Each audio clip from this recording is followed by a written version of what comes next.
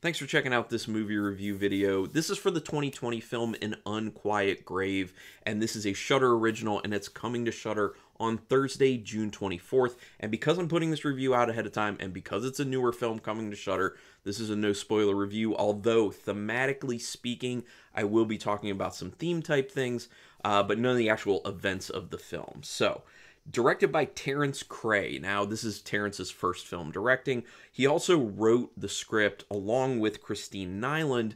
This is both of their first feature length script uh, writing credits, and Christine Nyland is the female lead in the film as well. Uh, it's her and one other actor, so it's very you can tell it's very low budget just knowing that it's only two people. Uh, very low budget. You can really tell by the look and the feel of the film uh, low budget, which isn't necessarily a problem. Like I said, Thursday, June 24th, it'll be on Shudder. Quick little synopsis, not telling you too much, like a sentence or two.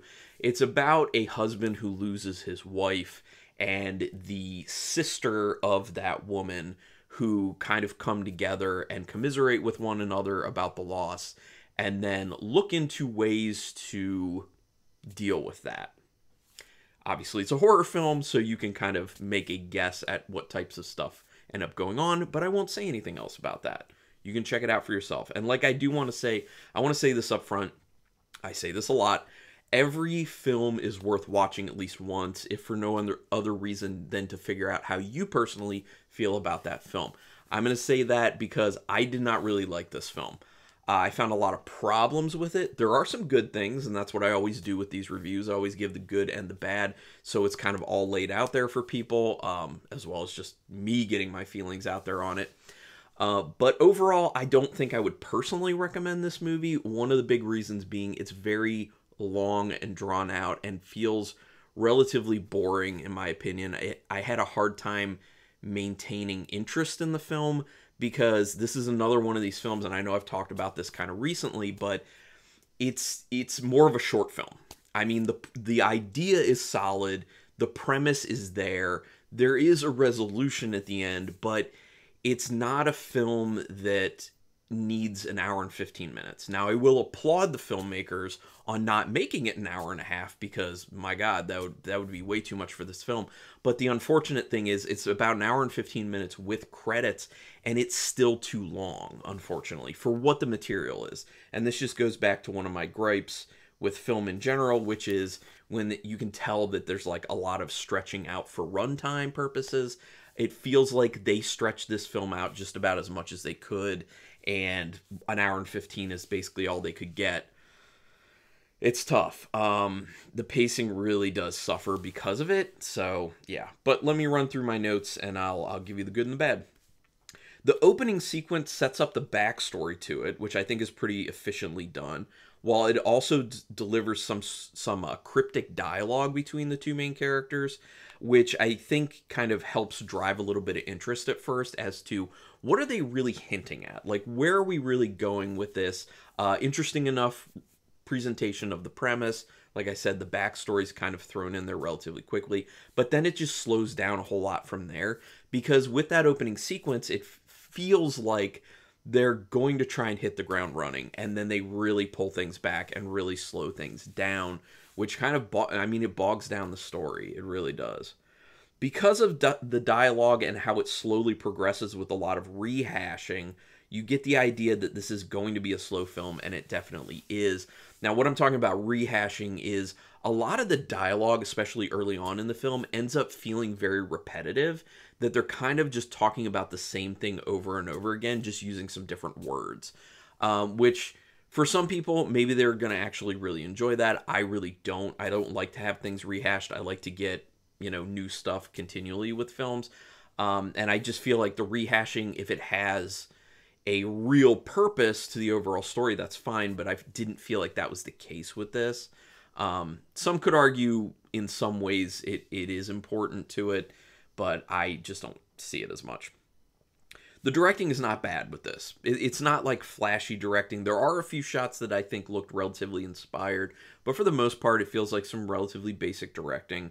Uh, the acting is solid, I will say. For how low budget you can tell this film is, I think it's solid acting. So that was good. Uh, now, that said, for a film that is as slow as this is and focuses as much as it does on just two people, I think to really pull off something like this, you need phenomenal actors. And the problem is, you're not going to get phenomenal actors usually with super low, low budget films. The phenomenal actors are typically the ones who have already been discovered and good luck. You're going to have to pay them a lot. So it, it's this kind of hard situation where a lot of super low budget films like this are really just tied down by the constraints of budget, you know? And that's not everything with this film though, because definitely things could be edited down and the story could be um, you know, kind of spiced up quite a bit more, even through just dialogue, in my opinion. About 20 minutes in, they try to get the story rolling, and the camera work to execute that specific event that you think is really going to get things rolling is effective. This is one of those moments where I was like, oh, the camera work's a little more inspired here. There's like a uh, reverse sequence, like a reverse footage sequence that looked really cool. I really enjoyed that. Nice artistic flourish to it. And then kind of like a quick cut that works really well as well. Uh, and I think that helped to build like a little bit of tension. But the problem is, after that, a lot of the tension just goes away. And that's kind of a reoccurring issue with the film for me, which is there are times where it starts to build some tension and then it just gets rid of the tension by stagnating.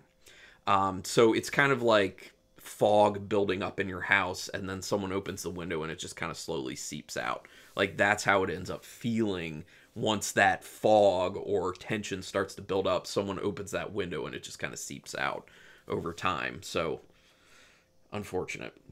A lot is shot in the dark with this film, uh, and you can, for the most part, you can see what you need to see and see what's going on, which is good. So I did want to throw that out there and say good job for the most part on doing lighting. There are some moments here and there where it's a little too dark, uh, and I was like, I wish I could see a little bit more, but overall, did a pretty good job, especially for how much of this is shot in the dark. So nice. There are some really odd cuts in this film at one point. There, there's a sequence like when a guy is going to, you know, settle in to go to bed, okay? And there's just some there's like three weird cuts that they put in there where you can tell it's because they're cutting out events of things he was doing getting ready to go to bed. But prior to that they were showing pretty much everything in the film and not doing those weird cuts. So the fact that it happens in there like that and then never happens again makes it feel even more out of place and more odd as far as the film goes. So i definitely think that should not have been in there. I think honestly with how stretched out this film is for runtime anyway, just put the all the events in there, honestly, because it it takes people out of the film even more than the slow pacing does when you see kind of like weird cuts like that. It's like a speed bump when you're driving a car and you didn't see the speed bump coming. It's like, oh my gosh. There, uh, I already said that. Uh, there isn't much of a score to speak of, which was kind of weird because most films you just take for granted that there will just be a score to it pretty much. There is music in this but it's very sparse. Even more sparse than I've ever seen in any film before, I want to say. Um, so I'm usually a big proponent of, you know, things being pretty quiet so that you can allow people to really take in, you know, the dialogue and the scene and, and feel how they want to feel about the tension or whatever's going on. But I felt like there wasn't enough music at this point. Now, just get you know, just get something very basic or reuse uh, a certain song over and over again. That's fine. Have it really low key in the background. You don't need it to be like blasting at people. But yeah, it just felt like it was kind of missing music that should have been there. There is story resolution, but I wouldn't say that there's actually good payoff, in my opinion.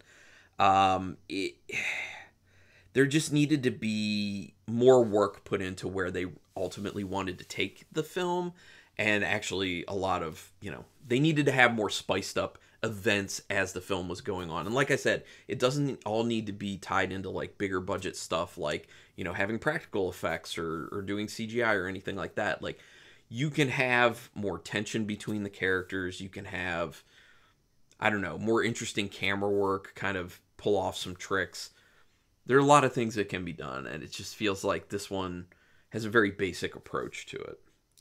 And then there's another odd cut to end the film, which I really did not like. I thought that was a very bad way to end the film, and it also feels like they end the film intentionally at a point where they're like they want you to wonder what was what was going to happen next, but you know at the same time that it wouldn't have been anything all that interesting, so it was kind of like just have it in there.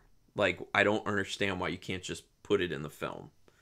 Um I just didn't understand that that choice. But like I said, you know, there are going to be people out there who really love this film, and I hope there are. I really hope there are because for every film, I really do hope there's an audience because you know these filmmakers they made a film, and that is a big achievement. Certainly better filmmakers than I am. So you know, I know I'm reviewing it, but this is just my personal opinion on it, and I wish them well. I 100% do, and I'd love to see more stuff from them. Um, yeah, and hopefully they grow from this. Not my review, but making their first film. This plays with the question of how far would you go to get back to how things used to be in your life after you have a traumatic experience or a loss or anything like that, which is a great idea. I do like the kind of underlying theme in it. It also speaks to processing loss and how it really does need to be done on an individual basis.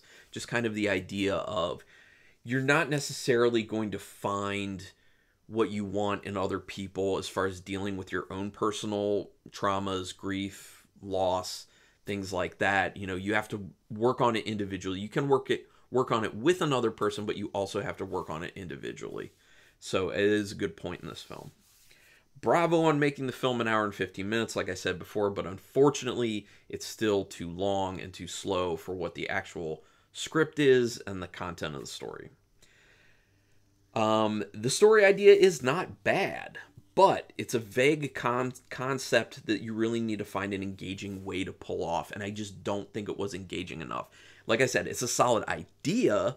It's just the execution of it didn't do it. It just it, it at least just did not do it for me. And like I said, it does bear repeating. Solid acting in this, but for something like this where you're focusing on these two characters and not a whole lot's happening in the film, you need phenomenal actors to hold people, uh, hold the eyeballs on the screen, basically. So that's just my opinion on it. I would love to hear differing opinions on this. What am I missing? Do you love it? Do you hate it? Are you in between? Let's talk about it in the comments. And go ahead, spoilers in the comments. I always do that for these videos. Uh, and we can just, you know, have a dialogue about it. But uh, regardless, uh, I do need to do my rating. So out of five stars with half stars in play, I got to give it one and a half stars. Unfortunately, I was between one and a half and two, but really, it's just it's too long and meandering, and I just don't feel like it comes together. I got to go one and a half stars on this. I can't really recommend it, but check it out for yourself and make up your own mind, and then come back and tell me what your thoughts were. I I would love to hear plenty of people say, you know what, this is actually a really great film. I would love to hear that. And tell me why. Let's go. Uh, but regardless, I really do thank you for taking your time to watch this. Please do me a quick favor. Hit that subscribe button if you like this review or any review I've ever done or any other view uh, or any other video I've ever done. Um, it's painless. It costs you no money. It's literally a second to just hit that subscribe button. Uh, and it means a lot to me. It really keeps me motivated to keep doing these reviews. Also, just hit the notification bell button because then that way you'll know when I'm putting up new videos, whether it's review videos or haul videos or any of that jazz. But regardless, like I said, I do thank you for taking your time to check this out. And until next time, keep it brutal.